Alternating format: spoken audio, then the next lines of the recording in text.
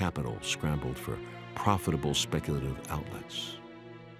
To help pay Germany's war reparations, German Foreign Minister Walther Rathenau, a prominent Jewish industrialist, expanded economic, diplomatic, and even military ties with Communist Russia, forging a bridge between the two nations that had been left out of Versailles in order to rebuild their war ravaged societies.